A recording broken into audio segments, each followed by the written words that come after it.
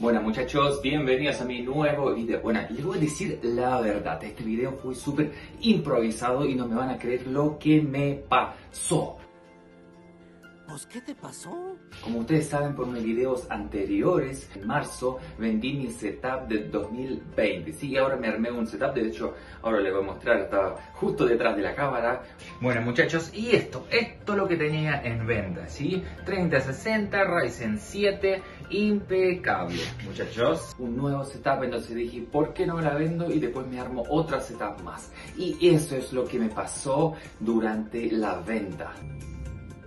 ¡Oh, me está rechazando! ¡Me está rechazando! Me dice Arturo, cuéntame. Pero te estoy llamando. Me dice, ¿qué necesitas? Me dice que la liberó los fondos. Me voy a una isla de caimanes a guardar esos fondos. Uy, es que me da tanta rabia que existe esa gente.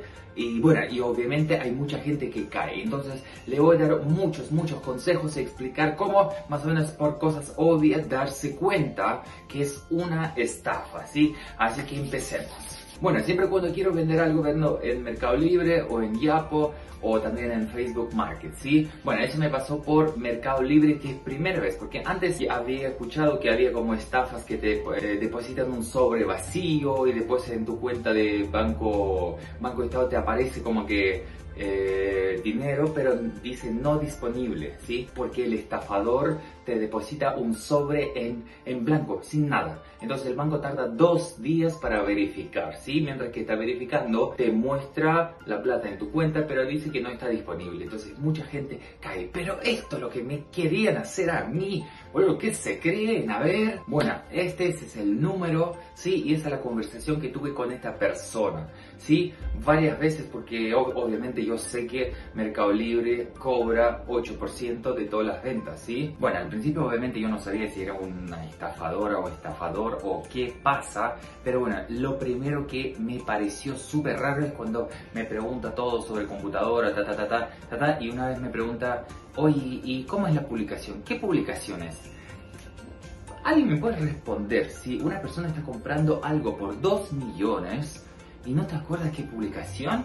debe ser millonaria para comprar o millonario para comprar computadores, pero así de 2 millones como si nada y no, acordarse de la publicación. Entonces ya después de ese, ya dije, ay, hay algo sospechoso, ¿sí? Y segundo, yo obviamente sé cómo funciona el Mercado Libre y esa persona me dice que solamente me cobran 12 mil rarísimo, ¿no? Rarísimo. Esa persona me está perdiendo, me está haciendo perder tiempo, entonces yo también voy a hacer perder el tiempo a esa persona. Generalmente esa gente como que se hacen pasar de tontos, como que no conocen la computador, entonces, entonces como que de esta forma tratan de dar confianza. Pero bueno, mira, ya había dos momentos. No, no, no conocen la publicación y segundo que me está diciendo de que Mercado Libre no cobra nada, ¿sí? Así que bueno, y lo más chistoso que me ha llegado entonces, después de que hablamos, que sí coincidimos, listo, yo obviamente estoy actuando, hago como de actor, como que sí le voy a vender, y de repente, ¡pum!,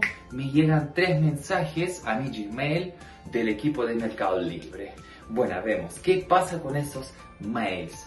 Primer error de ese mail porque los, las imágenes están adjuntadas, ¿sí? Porque ahí se nota. Ahí acabo de mostrar que esto se nota. Entonces Mercado Libre es como tan pobre, tan pobre, tan pobre, pobre, que va a adjuntar una imagen así nomás. Y segundo, ustedes siempre, siempre tienen que verificar de dónde llega el mail. ¿Cómo es?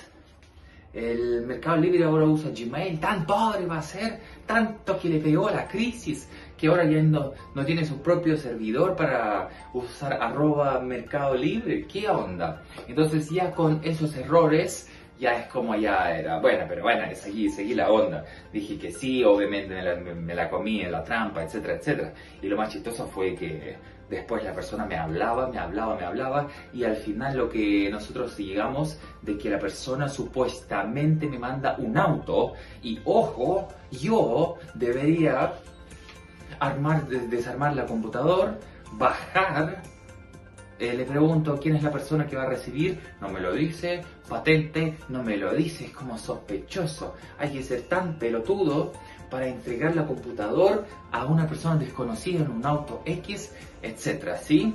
Y lo otro que ya me parecía sospechoso, sí, es como raro. Bueno, y obviamente ahí, ahí ustedes ven y disfruten, disfruten lo que estoy mostrando. Ahí está, para obviamente para para bullar un, poco, poquito a esa persona. Si esta persona me hizo perder tiempo, entonces yo también le hice perder, no sé, por lo menos 5 lucas, la plata que hizo pagar, ¿sí? Porque puse una dirección X, ¡pum! Porque igual yo, yo le dije que vivo en Santiago Centro, entonces entré en el Google, busqué una dirección, ¡pum! Y listo. Y lo más chistoso, que esa persona me, me escribió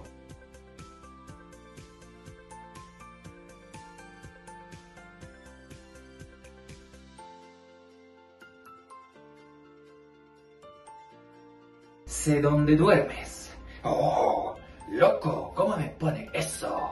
Y eso es lo que le respondo. Mm, el niño de Oxo. Bueno, así que muchachos, espero que disfrutaron, porque la verdad es que a mí me carga, me carga esta gente que quiere estafar. ¿Por qué no van a trabajar? ¿Por qué no inventan negocios, etcétera? Porque tratan de estafar. Me puse a averiguar en el Google y generalmente son gente que está en la cárcel, que tiene un teléfono, entonces tratan de estafar. ¿sí? Todo, todo, toda esta estafa funciona en que la gente cae. ¿sí? Porque no te dicen nada, no te amenazan, no, no, no. Solamente te cuenten, te cuenten a ver si la persona cae o no cae. Así que estén atentos. ¿Qué otras cosas? Lo más importante, cuando tú estás vendiendo algo, siempre trata de pedir una transferencia. ¿sí? Si con transferencia ya es imposible, es muy difícil que te estafen porque siempre es como de, con depósitos sí te pueden estafar, con cheque también te pueden estafar. Así que traten de, no sé, tener las cosas, la cabeza fría, ¿sí? Y fría y calculadora para que no te estafen, ¿sí? Obviamente acá dejo este para funar el número, me imagino que todavía siguen usando, porque hasta el día de hoy sí me marca que hay gente que se ha conectado con este número, ¿sí? Así que, bueno gente, espero que disfrutaron, ¿sí? Bueno, eh, obviamente si sé de alguna otra estafa, le voy a contar para que ustedes no caigan, ¿sí? No caigan, porque está mal, está mal, está mal que la gente caiga, porque tú trabajas, yo trabajo, toda la gente trabaja, se compra sus cositas, etcétera, pero existe gente que no entiende eso. Entonces hay que funarlos, hay que funarlos y darle, darle, darle, darle, darle, darle. Bueno, espero que te gustó y te envío todas las mejores energías para que nunca te estafen, para que te vaya súper, súper, súper bien.